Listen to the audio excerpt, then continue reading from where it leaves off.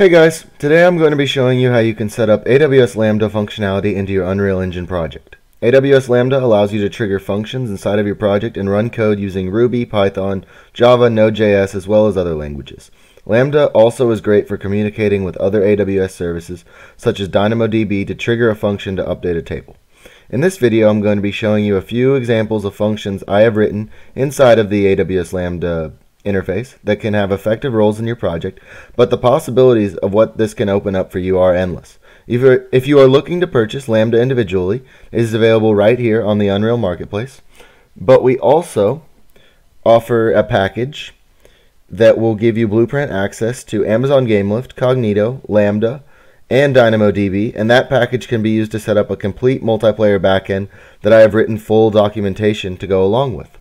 Alright, so now the first thing we're going to need to do in order to get started is I've already pre-written five functions that we're going to be using inside of our Lambda service that we will be able to invoke from our Unreal Engine project. I have these functions written in both Ruby and Node.js, and I will provide links to each of these languages in the description below. So just go ahead and download one of those, and then we're going to need to upload these functions into an S3 bucket. So the first thing we're going to need to do is create an S3 bucket. I have mine right here, AWS Lambda function code, AP Northeast 2, just the region I was in. But you can go ahead, create bucket, give it whatever name you want. Um, under configure options, I select versioning. I want to keep all versions of my of an object. Under permissions, I'm going to block. I'm going to uncheck block all public access so that they can be used. And then go ahead and create that bucket. Once that bucket's created, you're going to go inside that bucket and you're going to upload that uh, zip folder that you downloaded in the in the description of this video. And so now our next step is we're going to need to go over to our IAM service, our um, identity and access management, and um, we're going to need to create a new role for our a for our Lambda service so that it can interact with other AWS services. And so if you look here, I already have my service written and we're going to attach six policies to it. These first two, Amazon DynamoDB full access and Amazon SES full access, can just be found by searching because they are um, already created by AWS. And then we're going to need to set up four, sep four managed policies. So if you come over here, like for example, this one, AWS Lambda Tracer Access Execution Role, it's I'm going to allow X-Ray to write. This uh, AWS Lambda Cognito, I'm going to give Cognito user pools full access. Um, for CloudWatch logs, I'm going to allow writing. And make sure you check the resource I put as well. The resource on which the action can be performed. So like for this one, it's going to be in the logs. And then like AWS Lambda Key Management Service, I'm going to give Key Management Service full access and create that one, create that policy as well. To create these policies, we just come over here to policies and we'll just create a new policy. Choose a service, so like if I wanted Cognito, for example, like Cognito user pools, like that one, and allow all. And then review policy, or set the resource, so like all resources, review policy, give it a name, give it a description, and then we can attach that policy to our role. So then when we go back to role and we go to our AWS Lambda role that we've created, we'll be able to attach that policy to it. And we're going to attach these six policies again. So X-ray writing, Cognito user pools, full access, um, CloudWatch logs, writing ability, make sure you set the resource correctly, and then key management service, full access. Uh, you can add your own policies to this role. This is just what I'm going to attach for now because these are the services that at some point I'd like to use with my Lambda service. Alright, and now that we have our role set up, let's go ahead and head over to the Lambda service and get these functions set up that uh, that you downloaded from the uh, beneath the video earlier. Um, to do this, I'm going to show you how to create a function from scratch. So go ahead and go to create function.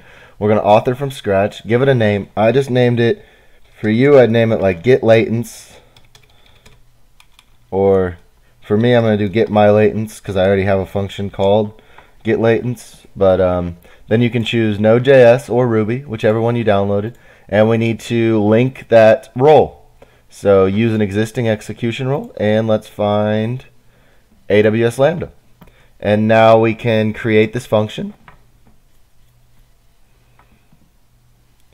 And we can come down to this function and we can, under code entry type, we can choose upload a file from Amazon S3.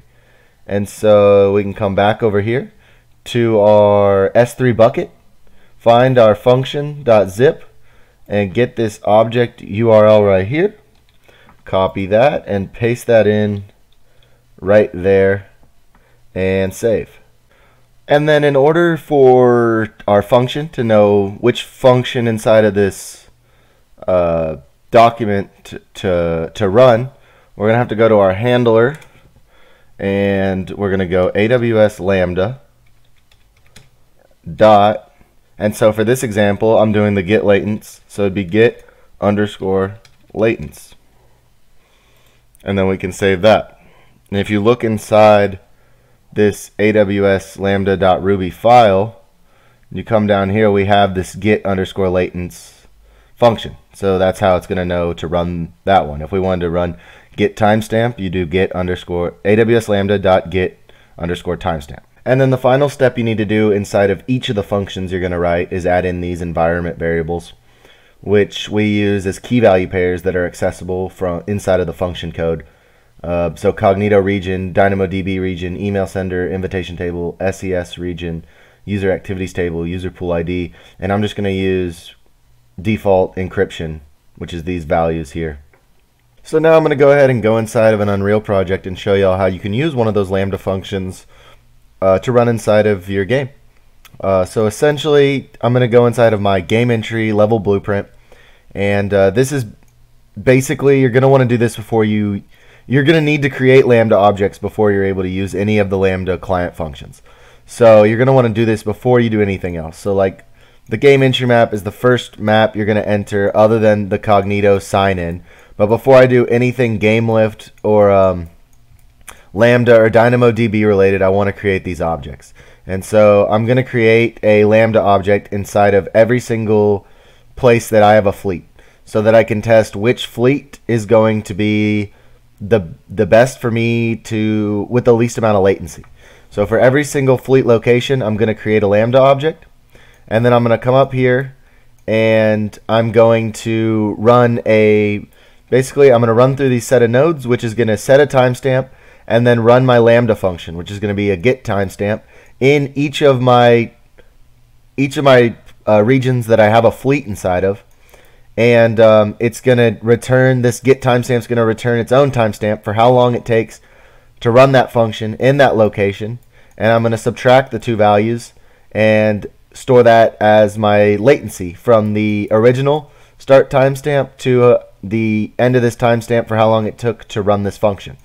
And basically from that I'll be able to know which which fleet location and which is which specific fleet is going to have the least amount of latency so that if later on down the road I wanted to match make based on least amount of latency I would have it all I would have all the latency values stored and could choose the best one to, for which which fleet location that specific user should join.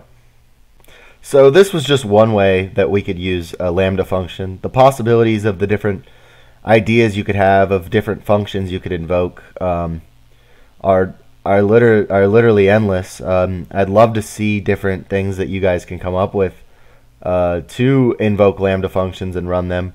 I think this is a very this is a much easier way that you can now interact Unreal Engine projects with Lambda. I'd also really like to see Lambda working with different AWS services such as Cloud CloudWatch X-Ray, uh, DynamoDB, the way the way we set up our role so that we we allow it to work with all of those. I think that's where the Lambda service will have its most its biggest impact and and be the most useful is in that sense. And I'd love to see any different ideas that you guys come up with. I just wanted to make this tutorial so that you could get an idea of what was what it took to get started uh, to be able to invoke Lambda functions through blueprints this is all it takes to get started. It's it's a pretty simple process to get them going, and now it's just building off of that um, new and cool ideas. In a future video, I'd like to show you guys how we can set up a full party system, and we'll be using Lambda to invoke different functions um, in conjunction with DynamoDB. I'm first gonna, my next video is gonna be a quick DynamoDB, sort of like this one, how you can set up DynamoDB and get it working. But uh, I'd like to set up a full party system so that players can invite and join their friends in a lobby, and then search for matches all together. So and they'd all be grouped together. But uh, and I have full documentation on how to do this. And if you came over to blockchopstudios.com and you could coach and you can check out the documentation, you can come right down here. I set up party system with database. I go through Lambda, I go through DynamoDB, and then we get to I show you guys how you can set up a full party system which uses Lambda and DynamoDB together. And I think that'll be a really cool use of these two services uh, in uh, working together. And that's uh, a video that I plan to be releasing very shortly.